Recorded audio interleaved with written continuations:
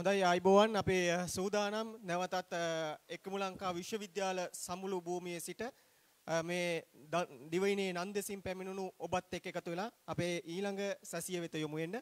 ඉතින් විශේෂයෙන්ම මේ සමුළු භූමියේ ඉන්න ඔබ වගේම මේ මොහොතේ SLU TV නාලිකා වරහා අපිව නරඹන හැමෝමත් අපි ගෞරවයෙන් සිහිපත් කරන ගමන් අපි සූදානම් අපේ දේශනය ආරම්භ කරන්න අවස්ථාව ලබා ගන්න. විශේෂයෙන්ම මේ දේශනය අපි අරමුණ බවට පත් වෙන්නේ අවුරුදු 50ක 60ක ඉතිහාසය තුල අපේ රටේ විවිධ ගැටලු වලට ආගම්වාදී, ජාතිවාදී ප්‍රශ්න වලට අපේ ප්‍රජාවන්ට, අපේ වැඩිහිටියන්ට මුහුණ දෙන්න සිදු වුණා. ඉතින් මේක කොයිබින් කොයි විදිහේ වැරැද්දක් වුණාද කාගෙන්ද මේ වැරැද්ද උනේ කියන දේ ගැන අපි දන්නේ නැහැ.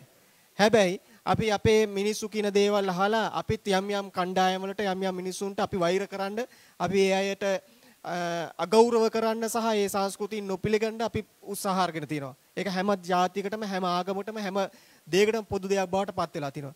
එහෙමනම් අපි මේ ඉතිහාසයේ අපිට වැරදුනේ කොහොමද?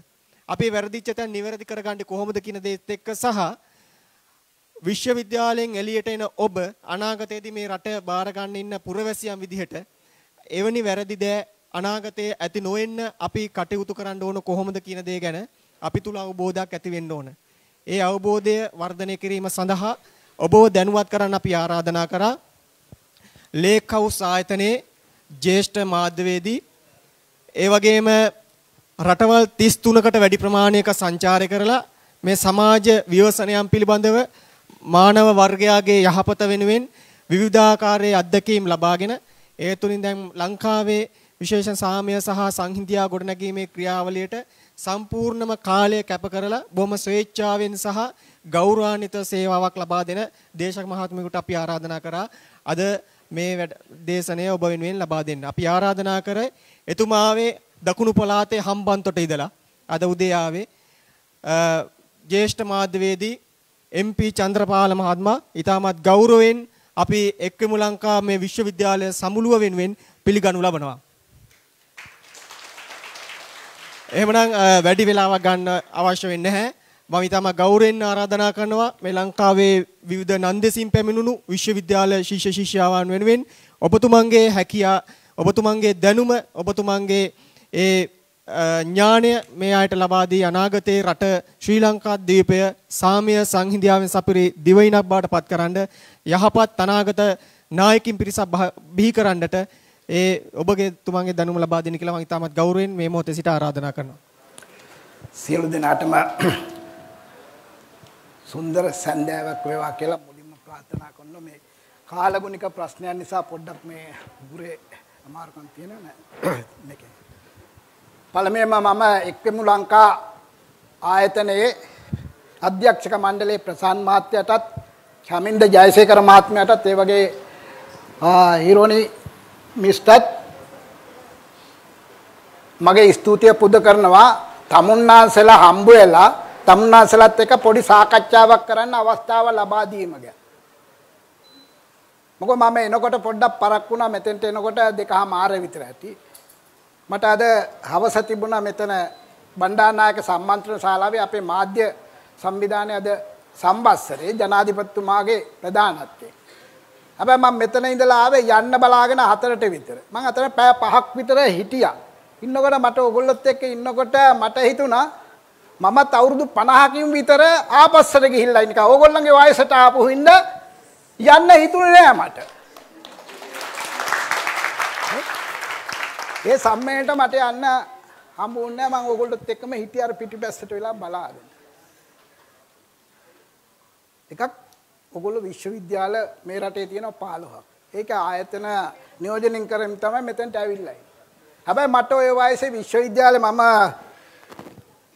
සාමාන්‍ය පෙළ විශිෂ්ට අන්දමින් D5යි සම්මාන තුනකුයි විශිෂ්ට අන්දමින් සමත් වුණා. උසස් පෙළ ලියන්න එනකොට මගේ කර්මයටද රටේ කර්මයටද මම දන්නේ අවස්ථා හතරකදීම මේ අවස්ථාව මට අහිමි වුණා. හේතුව වුණේ මම උසස් පෙළ විභාගෙ ලියන්න හදනකොට මට නිකන් මම ඒ පාරේ ශිෂ්‍යංගම් ව්‍යාපාරෙ හිටිය ශිෂ්‍යෙක් හැටියට කොහේ හරි රටක සම්මේලනයකට යන්නේ කියලා ආරාධනාවක් එනවා. පළවෙනි පාර ලියන්න ඉන්නකොට විභාගේ බල්ගේරියාවේ තියෙනවා මේ වගේ තරුණයෝන්ගේ ශිෂ්‍යයෝන්ගේ ලෝක විශ්වවිද්‍යාලවල එක 25000ක් විතර සහභාගී වෙන සම්මේලනය. ඒකට යන්නේ කියලා. ගෙදරින් කිව්වා විභාගෙ ලියාපන් කියලා. යාළුවෝ කිව්ව ඵලයන් කියලා ඕක හම්බ වෙන්නේ නැතුව වගේ අවස්ථාවක් රට යන්න. මං කරපු දේ යාළුවෝ කියා අපේ විශ්වාස කරා විභාග දෙවනි පාර ලියන්න හැකි නේද කියලා ගියා. කර්මයට දෙවනි පාර ලෑස්ති වෙනකොට ඉන්දියාවේ යන්නේ කියලා සම්මේලනයකට ආරාධනාවක්. බැරියයි කියන්න බෑ ඒකටත් ගියා විභාගෙ ලියන්න බැරුණා. හතර පාරක් කොහම ඇරනම් පස්සේදී විභාගයේ යීම අත්හැරලා දැව විශ්වවිද්‍යාලයට යාම නැවතුණා. කරුමෙට ඊට අවුරුදු 10කට විතර පස්සේ මට සෝවියට් දේශ විශ්වවිද්‍යාලයකට ඉගෙන ගන්න යන්න ලැබුණා. ඒක එක එක රටවල් වල ශිෂ්‍යොත් එක්ක ඉන්න තමුන්නාසලා වගේ අවස්ථාවල ඉතින් ඒක හින්දා මම අර පැත්තකට වෙලා හිටියේ මගේ ඒ කාලේ ශිෂ්‍ය කාලේ තමුන්නාසලා වගේ විශ්වවිද්‍යාලයකට ගිහිල්ලා එහෙම ඉන්න හැක් වුණා නම් අපිට හුඟක් දේවල් මේ රටේ වෙනුවෙන් සමාජය වෙනුවෙන් කරන්න තිබුණයි කියලා කල්පනාව. අපේ රටේ නිදහස හම් වෙලා අවුරුදු කීයක් වෙනවද?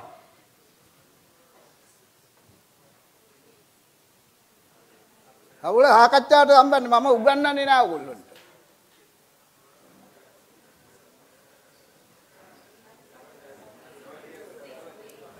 අවුරුදු 70ක් වෙනවා. අනේ අවුරුදු 70 කියලා ලබන අවුරුද්දේ තව මාස 6කින් විතර අවුරුදු 71 ලබනවා. මේ අවුරුදු 70 තුල අපේ රටේ අරගල කීයක් ඇති වෙලා තියෙනවා. තරුණ අරගල, තරුණ කරලි. රටේ යුද්ධයක් කීයක් ඇති වෙලා තියෙනවා.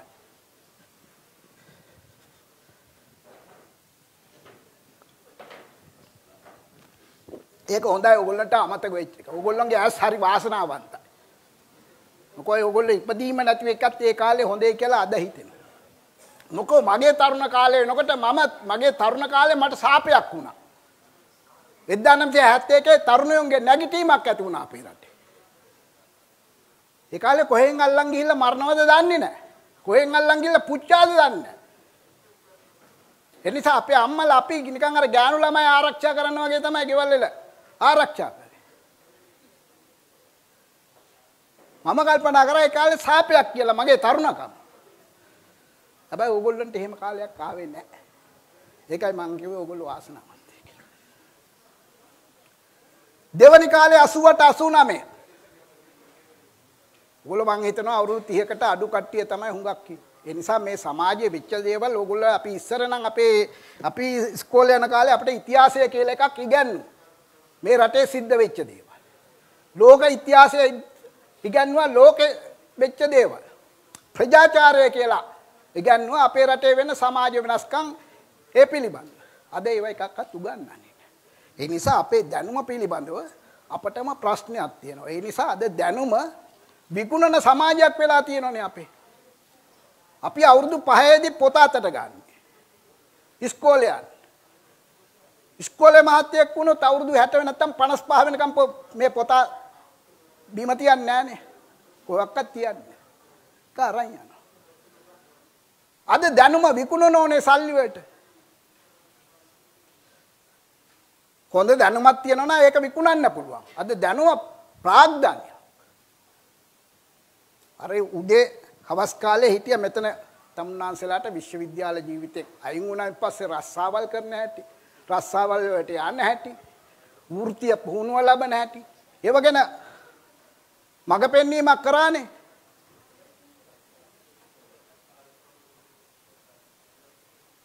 ඒ මඟ පෙන්වීම තමුන්නාන්සලාට ජීවිතේ හොඳ පැත්තට යහපත් විදියට ඒ අදහස් ටික අරම ප්‍රයෝජනෙට. මම කියන්නේ අපේ රටේ ඊට වඩා වෙනස් පැත්තකින් කතා කරන්න ගත්තේ ආරම්භ කරන්න ගත්තේ අපේ රටේ විශ්වවිද්‍යාල කීයක් තියෙනවද 15ක් තියෙනවා.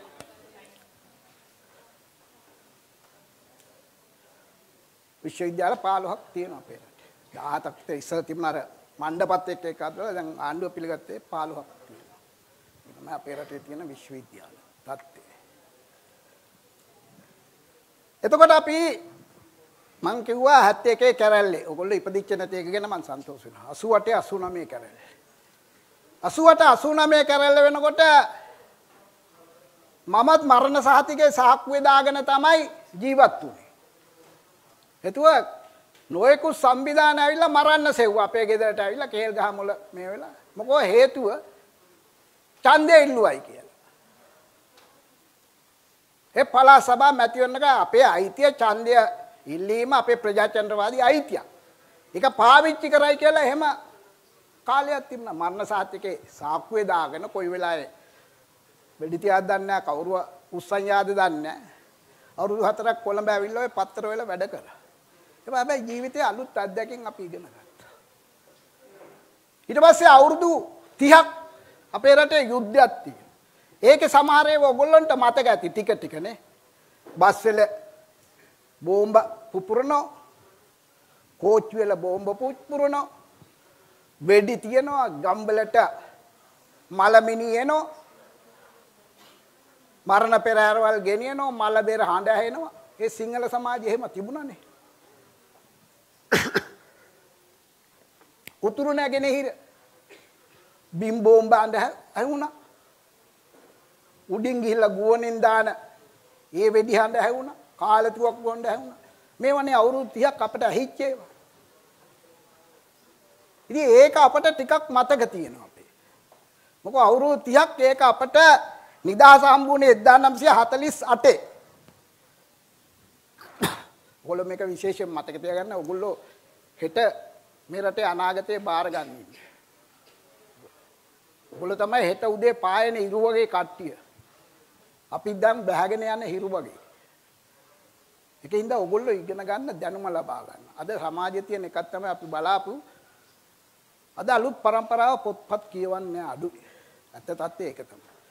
පත්තරයක් හරියට බලන්නේ. ඒකින්ද අපේ දැනුම සීමා රහිත වෙලා ඉස්සර පොත්පත් කියවන්නේ සමාජයක් තිබුණානේ අපිට. අද පොත් නිකන් දුන්නක් කියවන්නේ නැති කාලයක් මේක. ඉතින් අපි ඒක ඕගොල්ලන්ට දොස් කියනවනේ මේක තමයි මේ සමාජයේ මේ කාලේ තියෙන හැඩගැස්ම.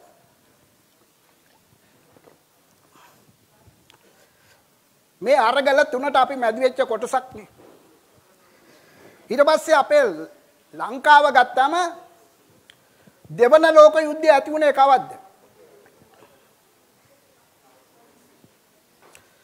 1939 සැප්තැම්බර් මාසේ පළවෙනිදා මේක පටන් ගත්තේ. නැතක ඕගොල්ලෝ ඉගෙන ගන්න කට්ටිය මතක් වෙන්න ඕනේ. 39 සැප්තැම්බර් මාසේ පළවෙනිදා ලෝක යුද්ධය දෙවනි ලෝක යුද්ධය පටන් ගත්තා.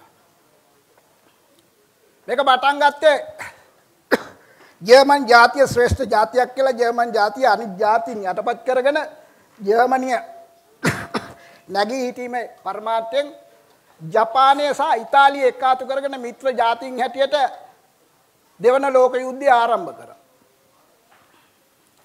1939 ඉඳලා 1945 වෙනකම් මේ යුද්ධ තිබුණා. පළවෙනි ලෝක යුද්ධ තිබුණේ 1914 ඉඳලා 18 වෙනකම්. උපාක් විතර. හැබැයි දෙවන ලෝක යුද්ධය එනකොට පළවෙනි ලෝක යුද්ධය වෙලා අවුරුදු 26කට විතර පස්සේ දෙවන ලෝක යුද්ධය ඇති දෙවන ලෝක යුද්ධය ඇති වෙලා හිට්ලර් එක පටන් ගත්තා. ජර්මනිය ඉතාලිය ජපානය එක්කහත් වෙලා රටවල් අල්ලගෙන ගියා හිට්ලර්. බල්ගේරියාව අංගේරියාව රුමේනියාව චෙකොස්ලොවේකියා පෝලන්තය මේ වගේ රටවල් වලට ගහගෙන ගහගෙන ගිහිල්ලා ජර්මන් කොඩිය දාවා ඊළඟට 1942 ජූනි මාසේ දෙවනිදා මේගොල්ලෝ ගිහිල්ලා සෝවියට් දේශයේ ලෙනින්ග්‍රෑඩ් නගරෙන් සෝවියට් දේශය ආක්‍රමණය කරන්න ලෙනින්ග්‍රෑඩ් නගරයට ගැහුවා. ගාලා මොස්කව් වලට ආවා. මොස්කව් වලින් මේක ආපස්සට හැරෙව්වා. රුසියන් ජනතාව එක්ක ආතුලා හිට්ලර්ට ගහගෙන ගහගෙන ඇවිල්ලා ජර්මනිය දාවා රුසියාවේ කොඩිය. ගොල්ලෝ ඇමරිකාව ප්‍රංශය වගේ රටවල් රුසියාවට සහයෝගය දුන්නේ. ඒගොල්ලෝ වෙනම මිත්‍රකට. හිට්ලර් පරාද කරා.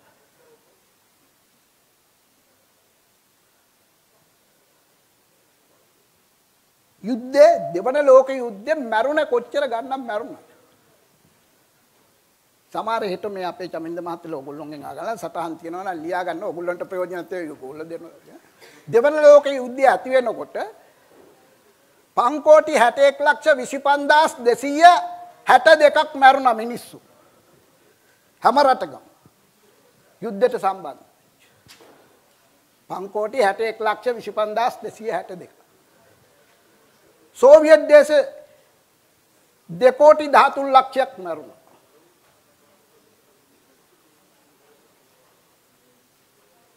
ජපානයේ දෙකෝටියක් මැරුණා. ඇමරිකාවේ 5 ලක්ෂයක් මැරුණා. ඉතාලියේ 3 ලක්ෂ 45000ක් මැරුණා. මේක තමයි මෑත කාලේ වැඩි වැඩිම මිනිස් ඝාතන.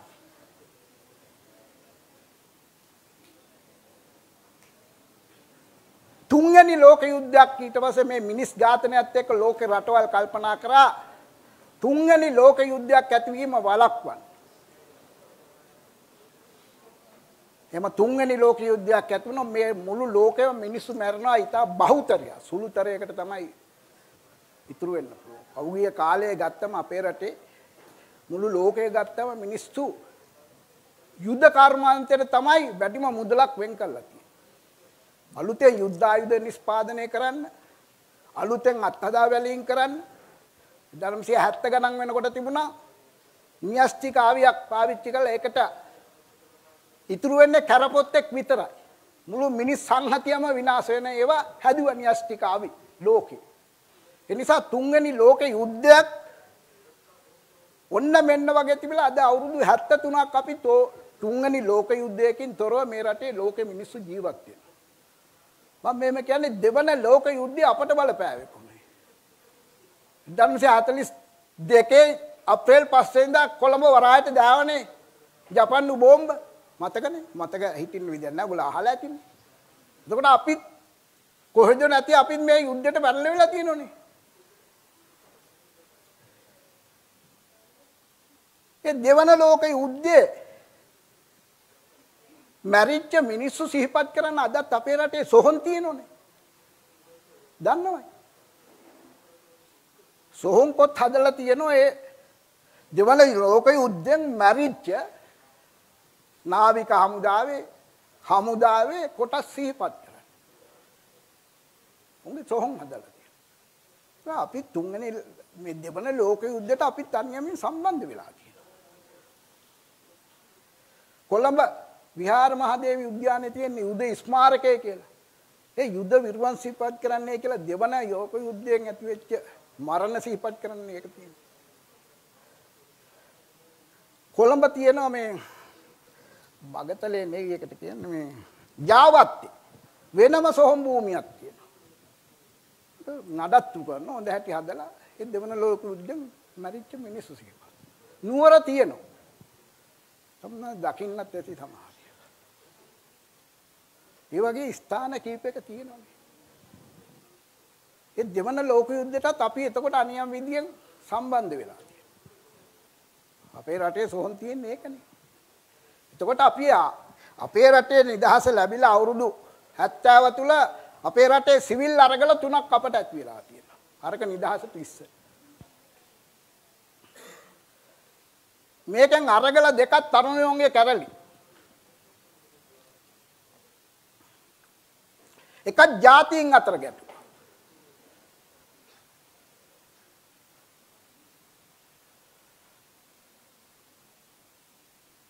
ජාතීන් අතර ගැටුම තමයි අවුරුදු 30ක් තිබුණේ. ඒ 30 අවුරුදු යුද්ධය කියලා කියනවා අපි පාවිච්චි කරා. 2009 මැයි මාසේ 18 වෙනිදා තමයි ප්‍රභාකරන් නන්දිකඩාල් කල්පුවේ මරුණයින් පස්සේ තමයි යුද්ධය අපේ රටේ අවසානය කියලා හිටිය ජනාධිපති මහින්ද රාජපක්ෂ මහත්තයා මැයි මාසේ 19 වෙනිදා ප්‍රකාශ කරේ යුද්ධය අවසානය කියලා. ඒක ඔයගොල්ලෝ මතකනේ? එතකොට අවුරුදු 30ක් ගහගත්ත මිනිස්සු જાතියන්නේ ලෝකේ කොහෙවත් නැහැ.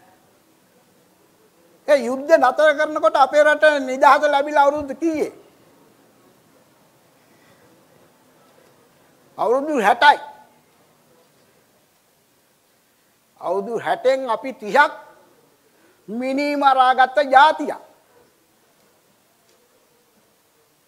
නිකම් බලන්න කොහොමද කියලා රටක් දියුණු වෙන්නේ. අපට නිදහස හම්බුනේ 1948 පෙබරවාරි 4 වෙනිදා. 1815 තමයි අපි බ්‍රිතාන්‍ය මාර්තු මාසේ දෙවනිදා අපි උඩ රට ගිවිසුම අත්සන් කළා බ්‍රිතාන්‍ය ජාතිකයෝගේ යටත් වැසියෝ වෙනවා අපි. අවුරුදු 103ක් අපි බ්‍රිතාන්‍ය ජාතිකයන්ට යටත් වෙලා හිටියනේ යටත් වැසියෝ හැටියට. අවුරුදු 133ක් හිටියා අපි. ඒ 133ක් ඉඳලා තමයි අපේ නිදහස හම්බ වෙලා අවුරුදු 70 ගෙවන්නේ අපි. ඒකෙන් අවුරුදු 30ක් අපි යුද්ධ කරපු. මේ නිදහස හම්බ වෙනකොට නිදහස ලබා ගැනීමේදී අපි එකම ජාතියක් හැටියට කටයුතු කරන්නේ මේ රටේ ලාංකිකයෝ හැටියට. සිංහල දෙමළ මුස්ලිම් අපි ඔක්කොම එක හත් වෙලානේ මේ නිදහස ලබා ගත්තේ. ඒක හිටියන්නේ බණ්ඩාරනායක මහත්තයා හිටියා ජෝන් මේ ඩී.එස්. සේනානායක මහත්තයා හිටියා ඩඩ්ලි සේනානායක මහත්තයා හිටියා. ටී.වී. ජය මහත්තයා හිටියා. අරුණාචලම් පොන්නම්බලම් මහත්තයා හිටියා. මේ කට්ටිය ඔක්කොම එකට හිටියනේ. අපේ රටේ ජාතීන් පිළිබඳව සැකය ආවේ. පළවෙනිම අපේ රටේ ජාතික කොඩිය. දන්නවනේ සිංහ කොඩිය අපි දැන් දාන හැම උත්සවයකටම දාන. මේක නිර්මාණය කිරීමේදී තමයි අපි අතර පොඩි සැකයක් ඇති වුණේ 1948 නිදහස ලැබෙන්න ලැබෙනකොට අපට අපේ රට නිදහස් කොඩියක් අවශ්‍ය වුණා. ඒක නිර්මාණය කරන්න කොමිටියක් පත් කරා. එදා හිටිය ඩී.එස්. ඩී.එස්. සේනානායක මහත්තයා. ඒ කොඩිය නිර්මාණය කරන්න දාව අට දෙනෙක් කණ්ඩායමක් මට මතක හැටියට. සිංහල දෙමළ මුස්ලිම් සියලු දෙනා හිටිය එකේ. සෙනත් පරණවිතාන් මහත්තයත් මේකේ හිටියයි කොමිටියේ.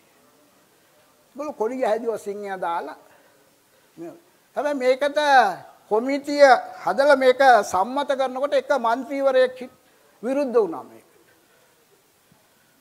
වවුනියාවේ හිටිය සුන්දරලිංගම් කියලා മന്ത്രിවරයා. එතකොට එයයි සම්පකාර ඇමතියේ ආණ්ඩුවේ 52. වවුනියාවේ ඇමතිවර සුන්දරලිංගම් කියන മന്ത്രിවරයා මේක කිව්වා මේක නිකන් මේ කොඩිය කාන්තාවකට අන්දන නිකන් අර කොළ පාටයි කහ පාටයි සාරියක් ඇඳපු ගෑණියෙක් වගේ කියලා. ඔව් ඒ කොඩියට කිව්වා. ඒ කොඩිය සමහරට සිංහයා ඉන්නවට තමන්ගේ විරුද්ධත්වය තියෙන්නේ නැති ඒක නොපෙන්න කිව්වා මේක සම්මත කරන්න එපා අලුත් එකක් හදන්න කියලා. හැබැයි කොමිටිය ගණන් ගත්තේ නැහැ ඒක. ඒක ප්‍රතික්ෂේප කරා. හැබැයි සුන්දරලිංගම් മന്ത്രിවරයෙක් කරේ මේකට විරුද්ධත්වය දක්කලා තුන් පාරක් ආවේ නැහැ පාර්ලිමේන්තුවට. එදා එදා පාර්ලිමේන්තුවේ තියෙනවා අදටත් අද නෑ ඒ සම්ප්‍රදාය එදා තිබුණා. එහෙම පාර්ලිමේන්තුවේ තුන් පාරක් മന്ത്രിවරයෙක් එන්නේ නැත්තම් ඔහුගේ മന്ത്രി ධුරය අහෝසි වෙනවා. සුන්දරලිංගම් മന്ത്രിතුමාගේ മന്ത്രി ධුරය අහෝසි වුණා. අහෝසි වුණාන් පස්සේ නැවත නාම යෝජනා ගත්තා. වවුනියාවේ අතුරු මැතිවරණයක්. හැබැයි කිසි කෙනෙක් ඉදිරිපත් වුණේ නාම යෝජනා දෙන්න කිසි කෙනෙක් ඉදිරිපත් වුණේ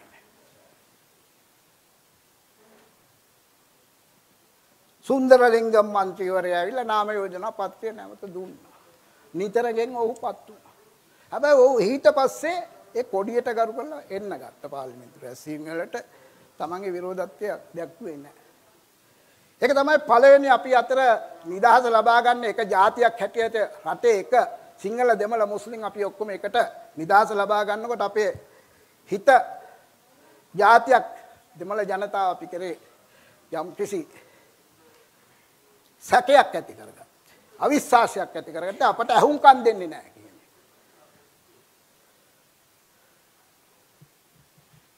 ඊළඟ කාරණේ තමයි මේ හදිච්ච ඕගොල්ලෝ දැනගන්න මේක පටන් ගැනීමේ තියෙන ඉතිහාසය. අද හුඟක් ඒවා දන්නේ නැහැ. කියන්න දන්නේ නැහැ. අපේ ওই ඉන්න විශ්වවිද්‍යාල මහාචාර්යවරුන් අත් වශයෙන් අලුත් කට්ටිය දන්නේ නැහැ මේක.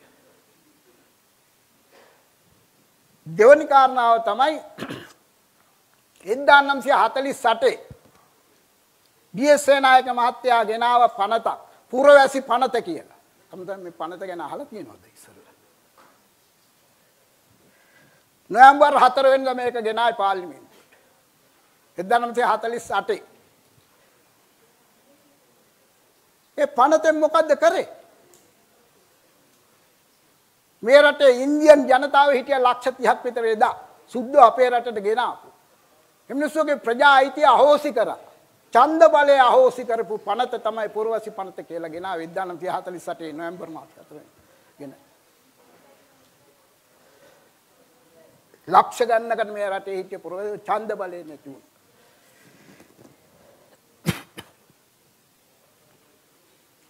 ඊට පස්සේ තමයි මේ රටේ ෆෙඩරල් පක්ෂය කියලා පක්ෂයක් හැදුවේ ඊට මාසයකට පස්සේ. උතුරෙන් බියුණා.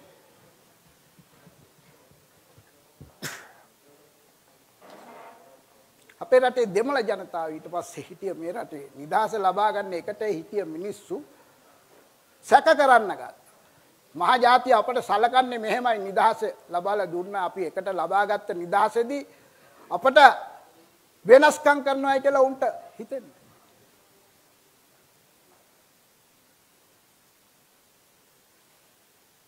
ඒක සාධාරණයි නේද? එහෙම තමන්ගේ ඡන්ද බලය ඉන්දියන් කට්ටිය ඒවා වකට ඉන්දියන් පුරවැසියොත් අපේ රටේ හුඟක් සමාජයට මෙහෙවරක් කරපු කොටසක්. පස්සේදී ගෙන්නීම එක නවත්තන්න මේ රටේ වූ සම්පති හුඟක් විරෝධය දක්වනවා. නමුත් ඒක ගෙන්නපු සුද්ධ ගෙන්නපු අපේ රටේ හිටිය ලක්ෂ 30ක් විතර එතකොට පුරවැසියෝ. ඒකත් එක හේතුවක් වුණා වෙනස් ජාතීන් සිංහල ජනතාව දිහා බලන්න සැකයක් ඇති කරලා. ලොකුවට තිබුණා ලක්ෂ ගන්නකට ප්‍රජා ඉතිහාස කරනවා කියනකොට බලන්න ඒක කොයිතරම් බලපෑමක් එනවද කියලා.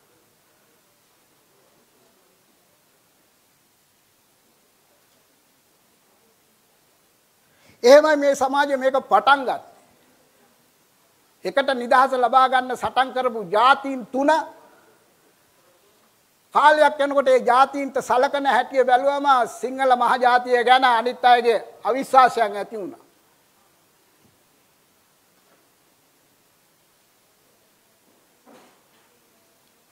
එතන ඉඳලා ඇති වෙච්ච තත්ත්වයක් මම ඉක්මනට යන්න මට තියෙන්නේ පැයක කාලයක් අපේ ජමින්ද මාත්‍යාලා දීලා තියෙන්නේ.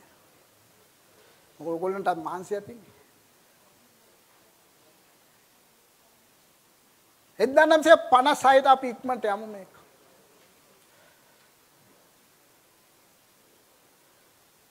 පනස්සයේ මැතිවරණ වෙනකොට සිංහල භාෂාව රාජ්‍ය භාෂාව කරනවායි කියලා එදා බණ්ඩාරනායක මහත්තයා රටේ ජනතාවට පොරොන්දුවක් දෙනවා. පැය 24න් අපි රටේ සිංහල භාෂාව රාජ්‍ය භාෂාව කරනවා. 56 ඡන්දේ තියෙනවා. ඡන්දෙදි මිනිස්සු බණ්ඩාරනායක මහත්තයා බලයට පත් කරා.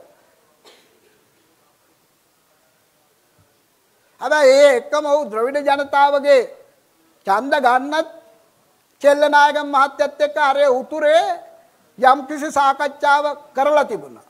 මම බලයට ආවොත් මම තමුන්නාන්සලාට යම්කිසි ස්වයං පාලන අයිතියක් දෙන්න. උන්ගේ අයිතියක් දෙන්න උන් එකඟ වෙලා තිබුණා.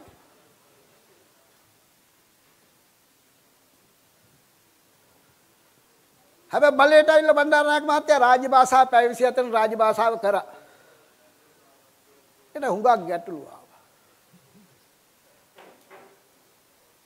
ඒක ක්‍රියාත්මක කිරීමේදී යම් යම් අසාධාරණකම් තිබුණා දෙමළ ජනතාවට. ඒ වගේම දෙමළ ජනතාවට යම් කිසි අයිතියක් දෙන්න තීන්දුව කළා. දෙන්න හදනකොට තමයි බලය නැති විරුද්ධ පක්ෂයේ දා හිටිය ජයාර් ජයවර්ධන මහත්තයලා අද උන් මැරිලා දේශපාලනේ නැහැ. ඔවුන් මේකට විරුද්ධ වුණා.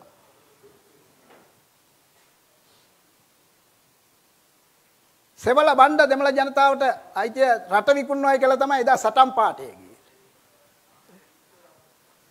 ඔයගොල්ලෝ මේක දැනගන්න ඕගොල්ලෝ ඊළඟ පරම්පරාවේ හින්දා මේ ඉතිහාසය ඔයගොල්ලෝ දැනගෙන ඉන්න හොඳයි කියන එක තමයි මම ඒ හින්දා මේ කියන්නේ. දේශපාලනයක් නෑ. මේක මේ අරගල ඇති වෙච්ච ඒවට මුල් හේතු. සෙවල බණ්ඩ දෙමළ ජනතාවට රට විකුණන්න හදන මේ වගේ නොයෙකුත් මේව කළා මේගොල්ලෝ පාගමන සංවිධානය කරා කොළඹ ඉඳලා නුවරට. ගියා ජයවර්ධන මහත්තයා. මේක ගම්පහට එනකොට ගම්පහ හිටිය එදා මන්ත්‍රී එස්.ඩී. බණ්ඩාරනායක මහත්තයා පාගමට ගහලා නතර කරා. යන්න දුන්නේ නුවරට. ඉතින් බණ්ඩාරනායක එස්.ඩී. බණ්ඩාරනායක මහත්තයාත් ඉඹුල්ගොඩ වීරයා කියලා නිකන් අලුතෙන් වීරෙක් බවට පත් වුණා.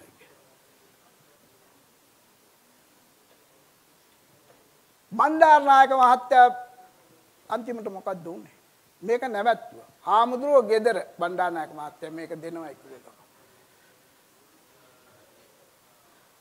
ගියුසුම ඉරාපන් කිව්වා.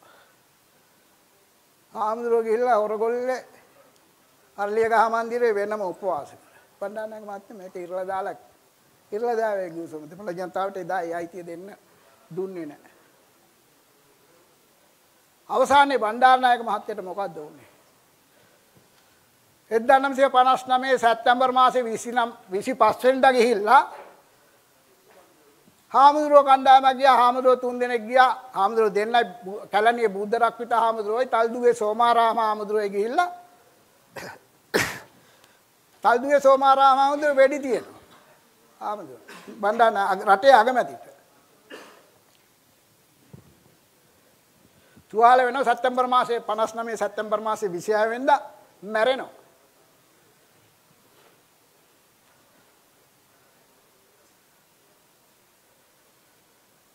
මේක විශේෂ කාරණා දෙකක් තියෙන එකකින්ද ඔක ලියා ගන්න එකක් රටේ අගමැති මැරුවේ හාමුදුරු නමක් එදා. තල්දුවේ සෝමාරාමාගේ වෙඩිය පාරෙන් රටේ අගමැති මැරුණා 1959. විරුද්ධ වුණේ එදා එවකට හිටිය ඒ විපක්කේ.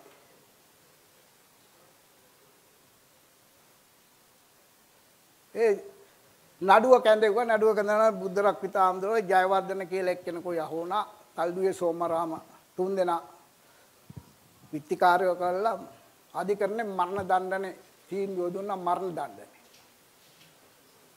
ඒක අපීල් කරා 1963 මරන්න මේගොල්ලෝ ජූලි මාසේ 21 22 දිනත් මේව කළා තියදී අපීල් කරායින් පස්සේ එතකොට හිටියේ හේම බස්නායක කියලා හිටිය අග්‍රවින්ට මේක අපීල් මණ්ඩලයේ හිටිය දෙන්නෙකුට නිදහස් මරණීය දණ්ඩනේ නතර කරා.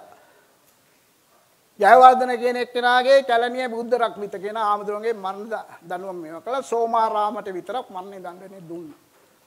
සෝමාරාම ඉරේට ගියා පීටර් කියලා නම වෙනස් කරගත්තා ආගම වෙනස් කරගත්තා එල්ලුම්ගස් කියලා. මේ එක කාල පරිච්ඡේදයක් අවසන් වෙච්ච හැටි අපේ රටේ. ඊළඟට මේක දැන් බණ්ඩාරනායක මහත්තයාගේ සිංහල භාෂා රාජ්‍ය භාෂා ක්‍රියාත්මක වීමත් සමගම උතුරේ தත්ත්වෙත් පොඩ්ඩක් ඔයගොල්ලෝ දැනගන්න. උතුරේ වාහනවල ශ්‍රී අකුර එතකොට. ඉංග්‍රීසි අකුරු තමයි ඒ දවස්වල තිබුණේ e ඉසට් ඊඑන් ඒ වගේ අකුරු තමයි පරණ වාහන වල තිබුණේ අපේ රටේ. පාවිච්චි කරපු වාහන සුද්ධෝගේ ඉංග්‍රීසි අකුරු. රාජ්‍ය භාෂාව සිංහල භාෂාව රාජ්‍ය භාෂාව ක්‍රියාත්මක කිරීමත් සමග වාහන වලට ආව එක ශ්‍රී දෙක ශ්‍රී ඒ මුල් වාහන. මේ වාහන වල රජයේ වාහන වල උඟක් යාපනයේ පැත්තේ මේ අකුර පාවිච්චි කරා. එක ශ්‍රී දෙක ශ්‍රී ඒ වගේ කියලා. යාපනයේ තරුණය මොකද්ද කරේ? මේ අකුරු වල ශ්‍රී අකුරේ තාර ගෑවා. ශ්‍රී විරෝධී ව්‍යාපාරයක් උතුරෙන් ආරම්භ වුණා. රජයේ කාර්යාලය සිංහල ලක්ෂණ තුන ඒව තාර ගෑවා. මොකද වාහන වල ගෑවා. ඒක අරගලයක් හැටියට එහෙ ගියා. ඊළඟට අනුරාධපුරයේ යාපනයේ ඉඳලා එන මෙහෙ කෝච්චි වල දෙමළ අකුරු නේ තිබුණේ උඹ. ඒවයි තාර ගන්න ගත්තා අනුරාධපුරයෙන් මෙහෙ පැත්තට එනකොට මැදුනේ. ශ්‍රී අකුරෙන් පටන් ගත්ත අරගලේ අන්තිමට දාස් ගණන් නැති වෙලා තමයි අපේ රටේ අවසාන අහිංසක දෙමළ මිනිස්සු අනුරාධපුර මැදවච්චිය පැත්තේ හිටියේ.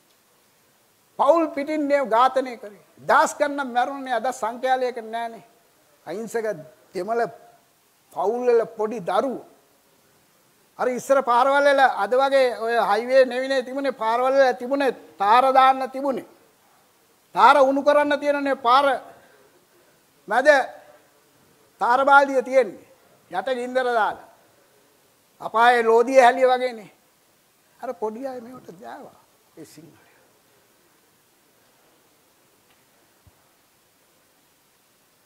සමහර ලිං වලට පවුල් පිටින් දාලා මැරුවේ. හිතන්න පුළුවන්. අපූරක ප්‍රශ්නේ.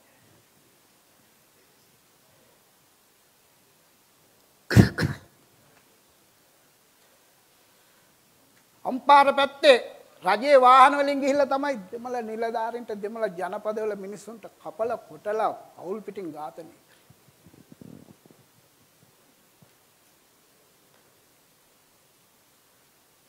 ශ්‍රී අකුරෙන් පටන් ගත්ත විරෝධී ව්‍යාපාරයේ අන්තිම දහස් ගණන් අහිංසක දෙමළ මිනිස්සුන්ට ජීවිත නැති වෙලා තමයි ඒක නතර වුණේ ආණ්ඩුව.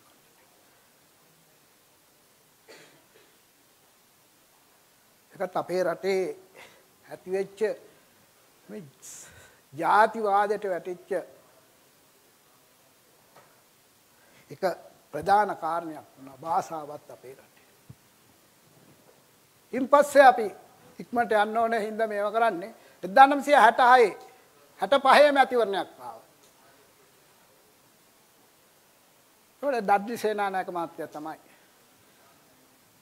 ඒ බණ්ඩාරනායක මැතිණියගේ ආණ්ඩුව කාලයේ පරාද කරලා 1965 මාර්තු 22 වෙනිදා තියාපු මැතිවරණයෙන් එක්සත් ජාතික පක්ෂයේ දඩ්ලි සේනානායක මහත්තයා බලයට පත්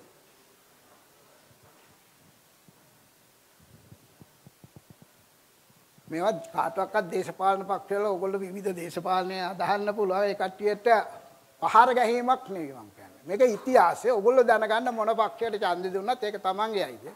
දැනගන්න මේක. ධර්මසේනානායක මහත්තයා චෙල්ලනායක මහත්තයත් එක්ක ගිවිසුමක් අස්සම් කරනවා. මම බලයට ආවොත් මම තමුන්නාන්සලාට ෂම්පාන අයිතියක් දෙනවා. දෙමළ ජනතාවට සාධාරණය ඉෂ්ට කරනවා.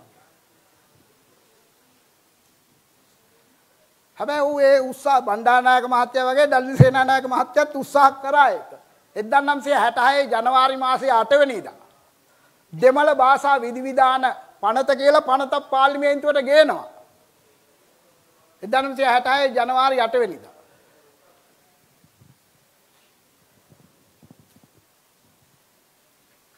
ගේන වෙලාවේ අර එදා බලයට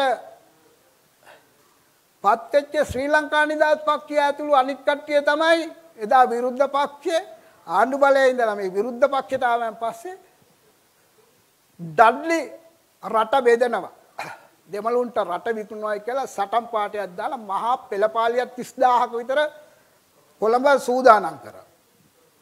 ජනවාරි 8 වෙනිදා මේ පනත ගේන දවසේ.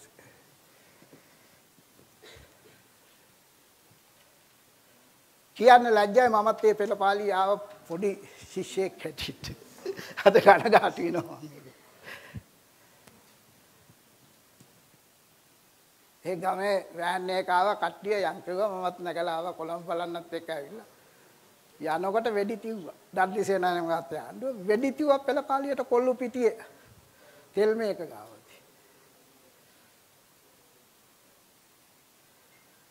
මේකේ මරුණ දඹරාවේ රතනසාර කියලා හාමුදුරු නමක් ඇතුළු තවත් කීප දෙනෙක් ඉස්සරහින් ගියේ. අපි දුවලා ගිහිල්ලා කානුවක් පල්ලේ ඉඳලා හීන්සරේ බස් එකෙන් කරලා ගියා යන්නේ. අන්තිමට බලනකොට මේ හාමුදුරු නමකට වෙඩි කියලා මරනවා. මේක මං කියන්නේ හැදුවේ එදා බණ්ඩාරනායක මහත්තයට මේ ප්‍රශ්නේදී වෙඩි තිව්වේ හාමුදුරු නම. ඒක විසඳන්න ගිහිල්ලා වෙඩි තිව්වේ හාමුදුරු නම. විසඳන්න. මේකෙදි විසඳන්න පොරොන්දු වෙච්ච නායක වෙඩි තිව්වේ ඒ හාමුදුරු නම. ඒක ටික මතක තියාගන්න මේවා. අද තම්නාසලා ගිහිල්ලා තමන්ගේ ආචාර්යවරයෙකුගෙන් අහන්න මෙහෙම සිදුවේ. දන්නේ නැහැ කියා. මේක තමයි මේ ප්‍රශ්නේ මුල කවදාවත් මේ ප්‍රශ්නෙට විසඳුම් දෙන්න දුන්නේ නැහැ. එතකොට යාපනයේ ජනතාව කොහොමද අපි මේ සිංහල සමාජ දිහා බැලුවේ? අද ඉන්න තරුණයෝ නෙවෙයි එදා හිටිය තරුණයෝ. කෙල්ලනායක මහත්තයලා. ඒ වගේ කට්ටිය හිටියනේ හොඳ. ඔන්නම් බලන් මහත්තයලා.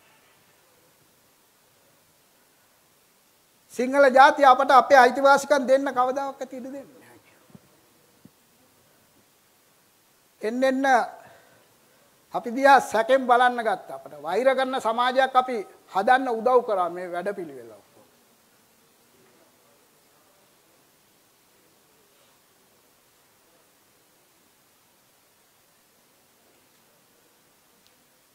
අපි ලක්ෂ ගණන් මිනිස්සු හැදුවා අපේ සමාජයට වෛර කරන්න සිංහල සමාජයට වෛර කරන්න උතුරේ මේ ප්‍රශ්න හේතු වුණා. ඒක අවුරුදු 30ක යුද්ධෙට අඩිතාලම් දැම්මේ අපේ ආණ්ඩු.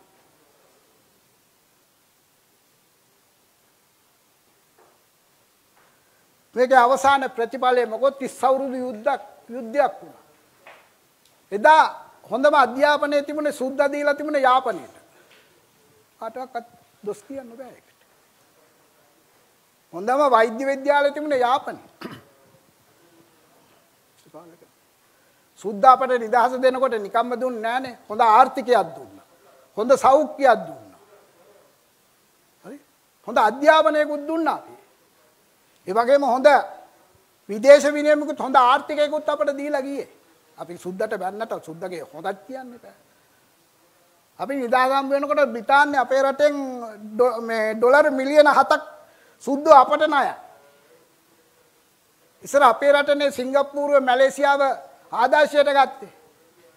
එහෙ මහතිර් මහත්තයල එහෙම කියන්නේ මැලේසියාවේ කවදා හරි ලංකාව වගේ කරන්න ඕනේ මැලේසියාව කියලා. සිංගප්පූරුවේ හිටිය ලියුපියන් අගමැතිවරයා කිව්වේ කවදා හරි අපේ රට සිංගප්පූරුව ලංකාව වගේ කරන්න ඕනේ. හැබැයි අද කොහොම මේ කවුරක්වත් කියනවද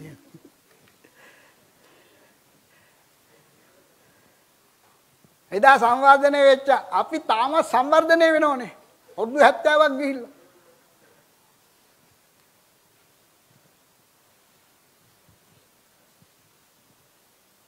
කවද්ද අපි මේ සංවර්ධනයේ වෙලා જાතියක් හැටියට නැගීට ලාංකිකයෝ හැටියට නැගී හිටින්නේ ඒක තියෙනවා අපි ඉදිරි අභියෝගයක්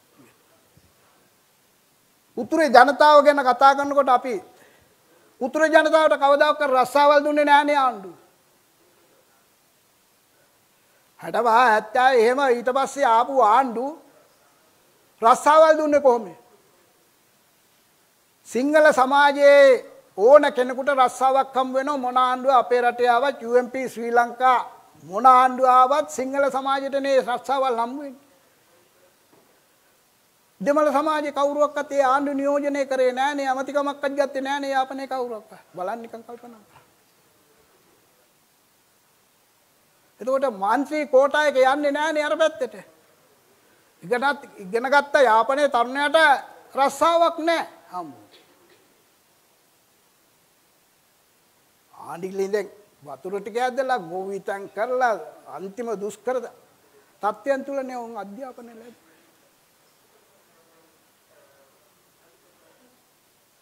හැබැයි 56ට ඉස්සරලා හුඟක් ඒ යාපනයේ අපේ ද්‍රවිඩ සහෝදරු දොස්තර මහතුරු ඉංජිනේරු මහතුරු හිටිය අපේ ගම්වලනේ.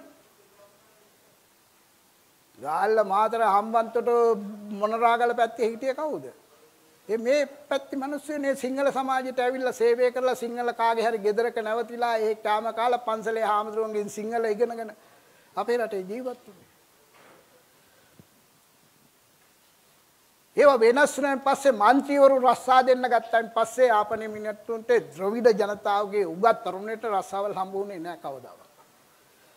මමත් ඒ කාලේ മന്ത്രിවරයෙකුගේ ලේකම් කෙනෙක් 1970 තිස්ස මහරාමේ ටෙනිසන් එදිරු සූර්ය මහත්තයාගේ පුද්ගලික ලේකම්. ආණ්ඩුවේ එන හැම එකක්ම එන්නේ පුද්ගලිකයි රහසිගතයි සංස්ථාවේ හවල් සංස්ථාවට සේවකයන් 25ක් එවන්න ඔබේ නන්ලැස්තු එවන්න. ඉතින් අපි පාක්ෂිකයෝ ටිකක් හරි කවුරු හරි ටිකක් අරගෙන නන් ටික දාලා යවනවා ඉන්ටර්වයුව කරන රස්සාව දෙනවා. ගුරුවරු බන්ධ ගන්නකොට අපි අවන නාමලේකන විද්‍යා ගනිත පත්ති ඉංග්‍රීසි ගුරු පත්ති. මේ මේ අයට දෙන්න අධ්‍යාපන කාරයාලේ අධ්‍යක්ෂකට යැවෙන් පස්සේ ඉන්ටව් කළ පත්තිල් දෙෙන. මේකනේ කාලයාල අදත් තියෙන් ඒකන අපේ රට. ප්‍රධානුව රස්සාවල් දෙහකට තුනකට ඇර අනි සියලු දේවල්ලට ගන්න මන්ත්‍රී ලයිස්තු වෙන්නේ. ඉදේ මන්ත්‍රී ලයිස්තුවෙන් දෙනකොට උතුරු පලාතේ මන්ත්‍රීවරු ඇමතිවරු නැති වෙනකොට ආණ්ඩුවන් නියෝජනය කරන කට්ටියට රස්සාවල් හමු වෙන්න. ඒකත් උග්‍ර වුණානේ අපේ රටේ. රැකියා ප්‍රශ්නේ උග්‍ර වුණානේ මේ උතුර මිනිසුන්ට. මොකක්ද උගත් සමාජ ඊට පස්සේ කල්පනා කර. ඉක්මට යාවකොල මේව කරන හින්දා ඊළඟට ආසියාවේ හොඳම පුස්තකාලය තිබුණේ යාපනයේනේ. 1981 ජුනි මාසේ පළවෙනිදා මොකද්ද මේ පුස්තකාලයට කරේ? පොත් 95000ක් තිබුණ මේ පුස්තකාලේ. ගිනි තිව්වනේ. ආසියාවේ හොඳම පොත් පුස්තකාලේ පොත් 95000ක් එක ගිනි තිව්වා. ධර්මසේ 81 ජූනි මාසේ පළවෙනිදා මේ මාසේ මධ්‍යම රාත්‍රියේ තමයි අවසාන දවසේ තිව්වේ. ජූනි පළවෙනිදා මේක ගිනි ගන්නවා. හිට්ලර් අරනම ලෝකේ කොහක්වත් එහෙම පුස්තකාලයක් ගිනි තියලා නැහැ. ජර්මනියේ ලක්ෂ 10ක් එක්ක පුස්තකාලයක් ගිනි තිව්වා හිට්ලර්ගේ කාලේ හිට්ලර්ගේ හමුදාව ඊට පස්සේ ලංකාවේ තමයි වගේ පුස්තකාලයක් ගිනි තිබ්බේ. ජූනි 4 වෙනිදා සම්වර්ධන සභා මැතිවරණය යාපනයේ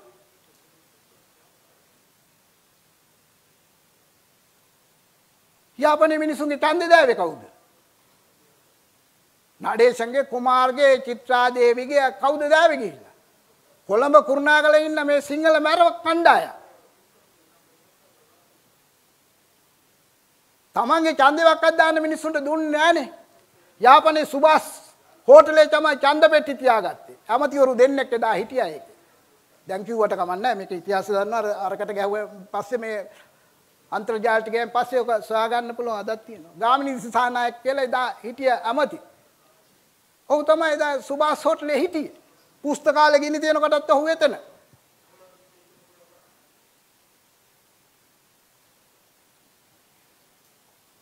මේ පුස්තකාලේ ගිනි අරගෙන ජුනි මාසේ පළවෙනිදා 81 මේ පුස්තකාලෙත් එක්ක සම්බන්ධතා තියාගත්ත ඩේවිඩ් කියලා පියතුමෙක් හිටියා. කතෝලික පියතුමෙක්.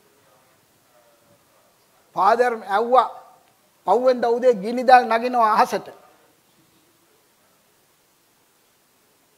යාපනයේ එහා පල්ලිය ෆාදර්ගෙන් අහනවා ෆාදර් මේ ඩේවිඩ් ෆාදර් කතා කරන්නේ මොකද්ද ඔය ගිනිදල්ල යාපනයේ අහසට යන්නේ? ඇයි ඩේවිඩ් පියතුමා දන්නේ නැද්ද යාපනයේ පුස්තකාලේ ගිනි තියලා? අලුබත් වෙලා පොත් ඔක්කොම. ඒක කියනකොට ඩේවිඩ් පියතුමා මැරීගෙන වැටුණා. මැරුණා. ඒ පණිවිඩය අහලා.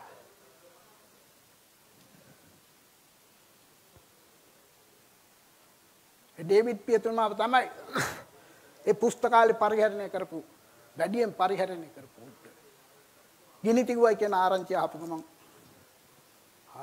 අද අපි කියන්නේ අර ඉස්සර හදවත පැල්ල මරනවා එක. ඒ වගේ පැල්ල මරන මැරිලා වැටුණා.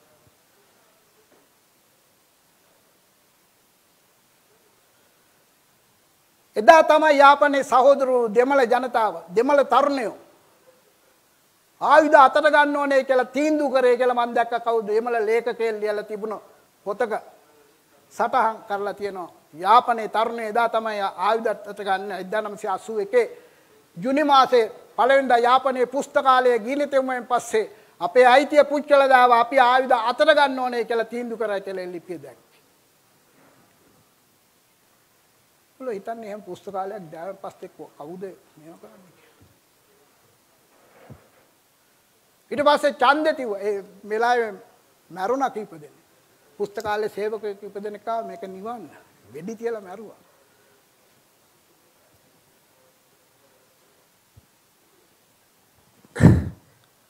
කොහොමද එතකොට අපේ දෙමළ ජනතාව අපි දිහා බලන්නේ?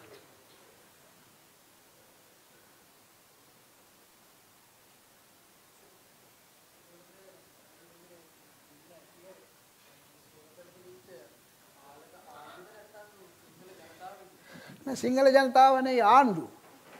ආණ්ඩුවේ බලපෑමෙන් ගිහිපු මැරයෝ කොළඹ. ඇමතිකම එකනේ හිටියේ පුස්ත යාපනයේ සුභාස් හෝටල්. සාමාන්‍ය සිංහල මිනිස්සුන්ට ඕන කමක් නැහැ නිකන්. දේශපාලන අවශ්‍යතාවයක් උඩ තමයි කරන්නේ. ඉනිටිව්. ඊට පස්සේ ජුනි 4 වෙනිදා ඡන්දේ තියෙනවා. ඡන්දේ දාවා එදා හිටිය බලයේ හිටිය එක්සත් ජාතික ඒගොල්ලෝ දිනාගත්තා මේ. කවුද මේ දිස්ත්‍රික් සම්බන්ධන සභාවේ සභාපති කරේ? කුරුණාගල දිස්ත්‍රික්කයේ දඹදෙණියේ පාර්ලිමේන්තු මන්ත්‍රී එවකට හිටිය යූ.බී. විජේකෝම් මහත්තයා තමයි යාපනයේ සම්බන්ධන සභාවේ සභාපති. ඔය හිතන්නේ මොකද්ද දෙමළ ජනතාවට? කුරුණාගලගේ මියෙක් ගිහිල්ලා යාපනයේ සභාපති වුණාම සම්බන්ධන සභාවේ මොකද්ද හිතෙන්නේ? ඒගොල්ලන්ට. අපි හිතමු ගම්පහරි කොළඹ කොළඹ නම් කමන්නේ නැහැ හුඟක් ඉන්නේ නැහැ. හම්බන්තොට මිනිස්සුන්ට ඒ වගේ ගෙනල්ලා යාපනින් ගෙනල්ලා සභාපති කෙනෙක් දාවොත් මොකද හිතෙන්නේ? නමක ඒ අපට හිතෙන සිතුවිල්ලනේ අර පැත්තේ කට්ටියටත් හිතේ. එහෙම හිතන්නේ ඔයගොල්ලෝ. මේ අරගලේ තමයි මෝර මෝර ආවේ. දෙමළ ජනතාව කල්පනා කර අපට සිංහල ආණ්ඩුවෙන් කිසිම සැලකිල්ලක් නැහැ. අපේ පුස්තකාලේ ගිනි තිව්වා. අපේ ඡන්ද බලයේ අයිතිය උදුරලා ගත්තා. අපට සිංහල සමාජයෙන් ගිහිල්ලා සභාපතිවරයෙක් පත් කරා විජයකෝන් කියලා. ඔයගොල්ලෝ මගේ අහලා තියෙනවද ඉස්සෙල්ලා මීට ඉස්සෙල්ලා? ඉතින් දෙමළ සමාජය කොහොමද අපි සිංහල මිනිස්සු කරේ බැලුවේ?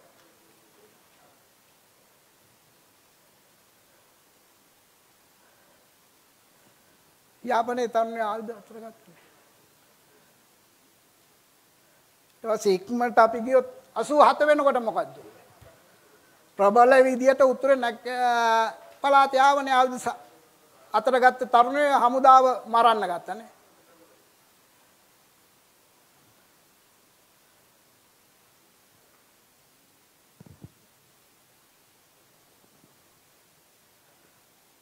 එතකොට බලන්න 1983 ඔයගොල්ලෝ අපි එතෙන්ට යම් පොඩ්ඩක්. ඒක ඊළඟ දෙවනි ප්‍රධාන වර්ධනයනේ ඒක.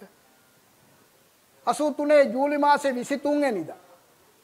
යාපනයේ බිම් බෝම්බයක් පුපුරවලා 13 දෙනෙක් මරුණ හමුදාවේ. මතකයි ඔයගොල්ලන්ට? නෑ. 13 දෙනෙක් මරුණා. හැබැයි අපි කොහොමද මේක බලන්නේ? මේක හමුදාට ගාපු මේකක් මේ නිකන් බෝම්බයක් කියලා මරුවයි කියලා හිතනවා. නෑ මේක එදා පවතිච්ච ආණ්ඩුව ඡන්දේ කල් දාන්න ඡන්දයක් තිබ්බා කලගෙඩි ලාම්පු. මතකද දන්නේ ඔයගොල්ලන්ට? ජනමත විචාරණයක් තිබ්බා. ඒකෙන් අවුරුදු 6ක් කල් දාගත්තා. 1977 බලයටපත් උනේ ජේ.ආර්. ජයවර්ධන මහත්තයා අවුරුදු 6කට. 83 ජූලි මාසේ 22 වෙනිදා මධ්‍යම රාත්‍රිය වෙනකොට ඒ කාලේ ඉවරයි. යාපනයේ ජනතාවේ කලගෙඩි ලාම්පු සෙල්ලමෙදි දුන්නේ අපට ඡන්ද බලය ඕනේයි කියලා. කලගෙඩියට ඡන්දෙ දුන්නේ. ඒ ආණ්ඩුවට විරෝධය දක්වන්න තමයි මීට පස්සේ මේ අපි ඡන්දෙ දීපු ආණ්ඩුවේ කාලේ ඉවරයි කියලා බිම්බුම් පිපිරේ. දාමාන විරෝධය රජයට විරෝධය දක්වන්න තමයි ඒක කරේ. ඔයගොල්ලෝ බලන්න ඉතිහාසය උගත් දුරට මේව කළා. කවුරු ඇහුවත් ඔක කියන්නේ නැහැ කවුරුවත්. දේශපාලනේ මේක තමයි ඇත්ත කතාව. 13 දෙනා මැරලා කොළඹට ගෙනාව කනත්තට.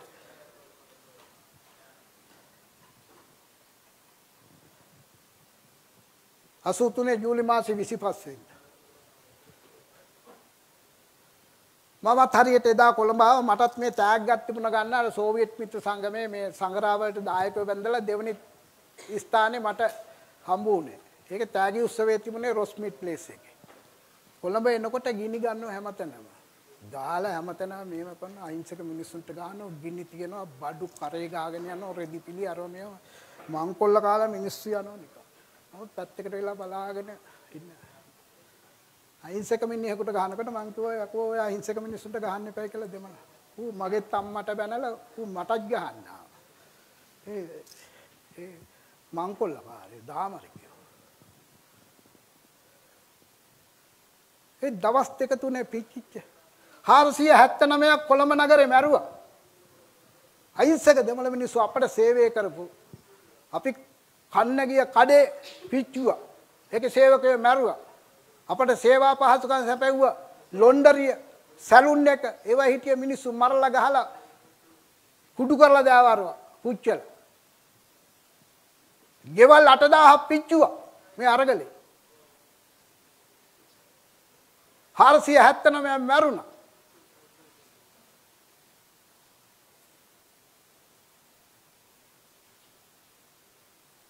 අපට සේවය කරපු මිනිස්සුන් අපි ගැහුවේ. අපි ගැහුවේ නෑ අපි තමුන්නාන්සලා නෙවෙයි. මේ සිංහල සමාජයේ ටික පාදඩ මැරියෝ නේ මේක කරේ. දේශපාලන මග පෙන්නින් අනුවනේ මේක කරේ. ලැයිස්තු අරගෙනනේ මේ දෙමළ ජනතාවට අයිති කර්මාන්ත ශාලා, ගෙවල්, කඩවල් සාපු ගිනිතිව් මේක එතනින් නැවතුනේ නෑනේ බදුල්ල නුවරඑළිය ඒ පැත්තට ගියානේ මේ. ඒකේ හිටිය අර එක්සත් ජාතික පක්ෂයේ රේණුකා හේරත් මහත්මිය ෂෙල්ටන් රණරාජ වගේ මහත්තුරු මේකට විරුද්ධව කතා කළා මැරයෝ අත්අඩංගුවට ගන්න එක කියලා අත්අඩංගුවට ගත්තන් පස්සේ ඉහෙලින් ආපු മന്ത്രിවරු ඇමතිවරු කිව්වා ඔකු නිදහස් කරනවා කියලා. එකම පක්ෂය.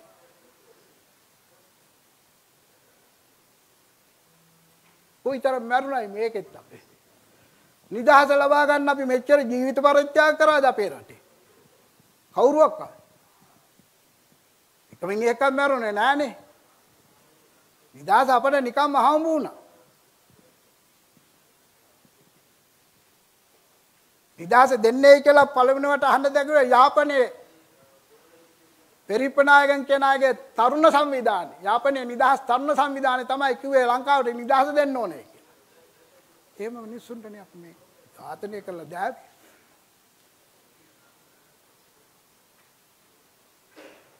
අටදාහක් කොළඹ නගරේ ඒවයි වුණා කර්මාන්ත ශාලාව වන්න ඒවයි වැඩ කරේ සිංහල මිනිස්සු. අයිතිකාරයා ද්‍රවිඩ මහත්තයෙක් වුණාට සිංහල මිනිස්සුන්ට මේ සේවා සැපෙව්වේ ඔක්කොම.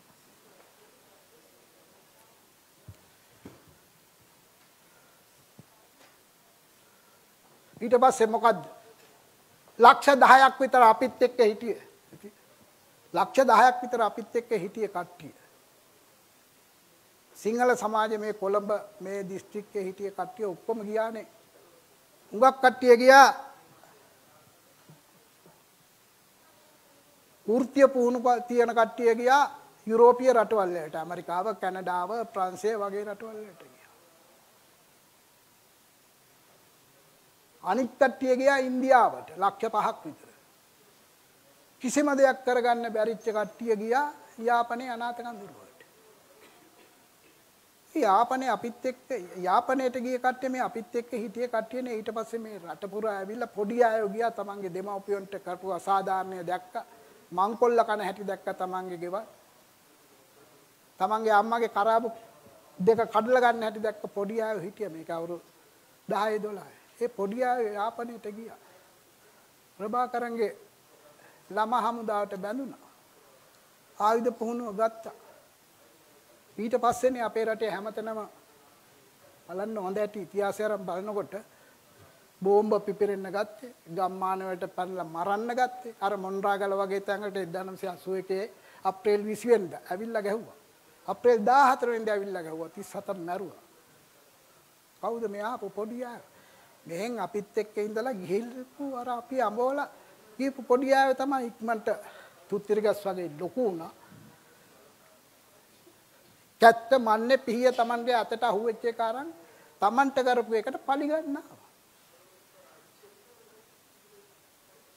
1996 ජනවාරි 31 ඉඳන් අපේ මහ බැංකුවට ගැහුවානේ. 100 ගණන් මරණනේ. ඊට අවුරුදු 20කට පස්සේ අපි කතා කරනකොට මහ බැංකුවේ මන්ත්‍රීවරු 100 ගණන්ගේ චරිත ඝාතනය වුණානේ. මේ සිදුවෙන් හැම එකම එකින් එක මොකක් හරි සම්බන්ධයක් තියෙන කාලයක් යනකොට.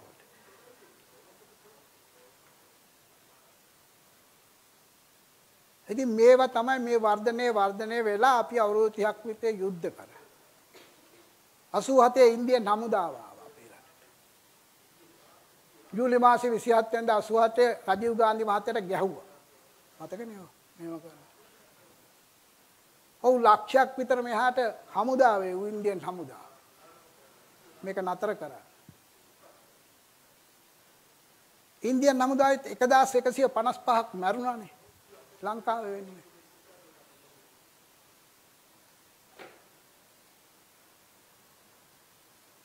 මේක තමයි මේ නිදහසෙන් පස්සේ අපි කියාපු කතන්තරේ තමුන්නාන්සලාට අපි කිව්වේ මේ යුද්ධෙන් මැරිච්ච ගන්න කාටවත් කියන්න පුළුවන්. 1971 කොච්චර මරණද කියලාද කියන්න පුළුවන්ද කාටවත් තමුන්නාන්සලාට බෑ. 88 89 කාලේ කියන්න පුළුවන්. එහෙම කාටවත් කියන්න බෑ. 30 අවුරුදු යුද්ධෙන් කොච්චර මරණද කියලා කියන්න පුළුවන් එහෙම කාටවත් කියන්න බෑ තාම හරි සංඛ්‍යා ලේඛන නැහැ කොහොමද ලක්ෂ ගණන් මැරලා තියෙන්නේ මේක වැඩිච්ච වැඩියෙන්ම මැරුණේ කවුද? තරුණයෝ. තමුන්නාන්සලා වගේ වයසේ හිටිය කට්ටිය. යුද්ධ ගොදුර තමුන්නාන්සලා. ඊළඟට යුද්ධයක් එනවා ඒකේ ගොදුර වෙන්නේ මේ රටේ තරුණයෝ. හමුදාවට බැඳෙන්නේ හමුදාවට විරුද්ධව හටන් කරන්නේත් එහෙම කොටස්.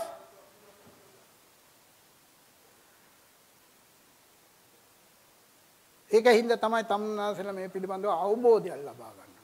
අපි කොහොමද හෙට දවසේ මේ ජාතින් සමග සහයෝගයෙන් ඉන්නේ කියලා හිතා ගන්න ඒක කාටවත් වෙන අයට කරන්න බෑ තමුන්නාසලාට ඒක කරන්න හැකියාව තියෙනවා. මෙතන තමන්ගේ එක බඩවැල කපාගෙන ආපු සහෝදරයෝ වගේ මෙතන ජීවත් වුණා මේ ජාතින් තුන.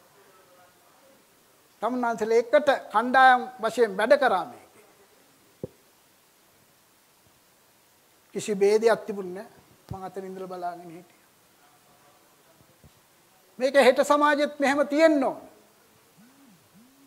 ඒක කරන්න පුළුවන් වෙන්නේ තමුන්නාන්සලාට.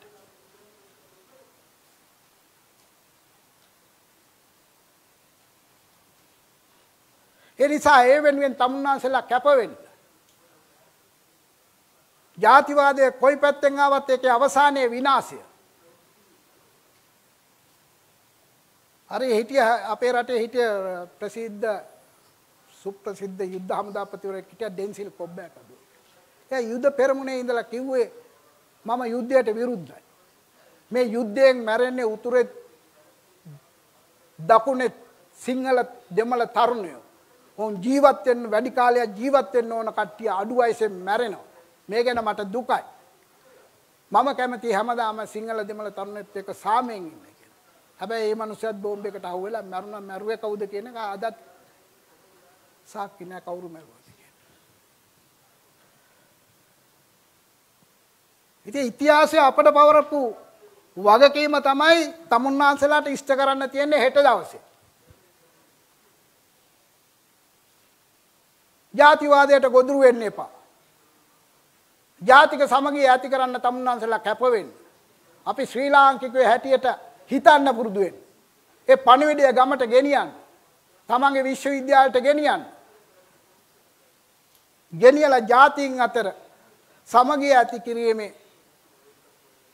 වගකීම තමන් බාරගන්නේ කියලා ඉල්ලීමක් කරමින් මගේ කාලය අවසానයි තමුන්නාන්සලට අහුම්කන් දුන්නට ස්තුතියි වෙනවා. කොහොම ස්තුතියි. ප්‍රශ්නයක් තියෙනවා නම් අහන්න. Thank you.